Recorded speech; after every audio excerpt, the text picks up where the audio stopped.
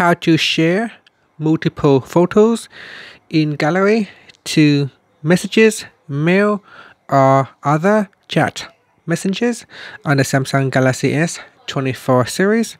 First, tap on the home button to return back to the home screen.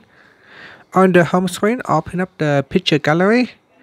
Next, we scroll down and uh, select the pictures that you want to share.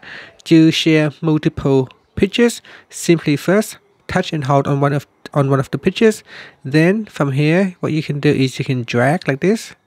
So let's do it again. So simply drag to select multiple photos. You can deselect the photos that you don't want to share. Or what you can do is simply touch and hold. Then once you are in a selection mode, you can browse up and down and select the photos that you want to share. You can also include videos as well, not just photos. And then once you are ready, we go down and tap on the share button.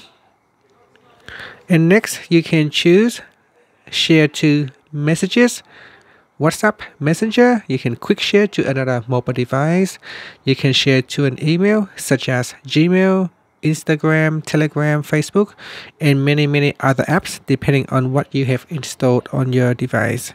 So here, let's say I'm going to share it to messages. I tap on that and I will choose a, a contact that I want to share it to and then tap on the send button and that's it so here you will see the phone will share multiple pictures to uh, another person via messages or uh, chat messages uh, you can share it to um, Gmail as well. And that's it. Thank you for watching this video. Please like and subscribe to my channel for more videos